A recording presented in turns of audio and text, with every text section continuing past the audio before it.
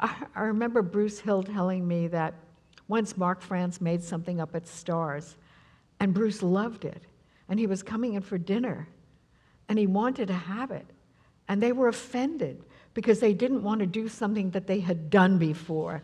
And, you know, we don't think that way all the time anymore. I think the thing is, if something is good, you do want it to come back and you do want it to become part of somebody else's food of memory. Let them remember it because that's the food that you crave. That's why we have Thanksgiving and Hanukkah and all these things where there are certain iconic dishes that get prepared, maybe just once a year, but people look forward to them because it's a touchstone. And I think that has power and it has a story that just links people with their food in a very different way than food that's just sort of flashy and I'm making it up and I'm having a good time and now I couldn't do it again tomorrow because I don't remember really what I did. That's another kind of cooking and it's sort of razzle dazzle. And um, I don't know. I don't think it has the staying power. Well, do you think that that's, as you put it, dude food, you know? Well, Guys' a lot of it is dude food. I mean, we're having, I don't know how many of you have been following this whole thing with Time magazine and uh, the, the gods of food, who all happen to be men and no women chefs. And I write about boy food and girl food in this book because it is an issue. And I think the thing is that there are many men who cook what I call girl food.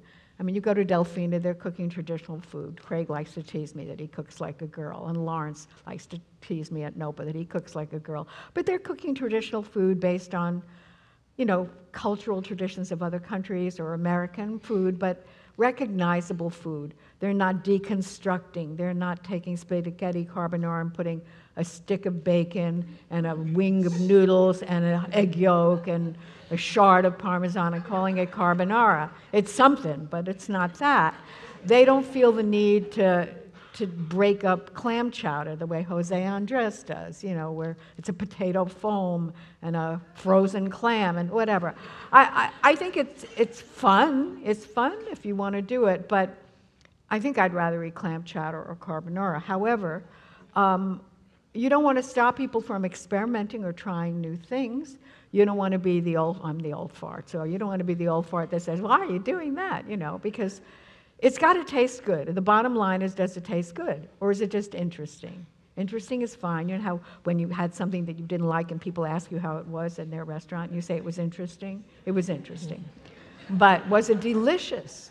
And I think that um, women also don't get the amount of press that the men do because they are the ones that ha- need greater control of their time. They have family obligations.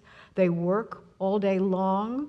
They don't go out cavorting with the boys, visiting other chefs and getting drunk at night because they're going to go home.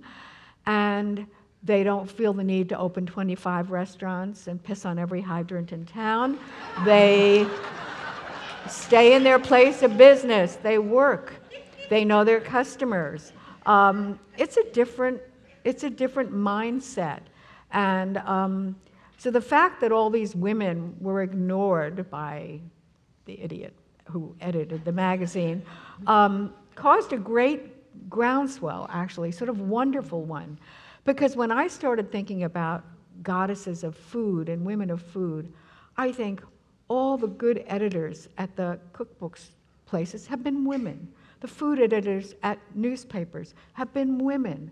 The people teaching, very often, are women.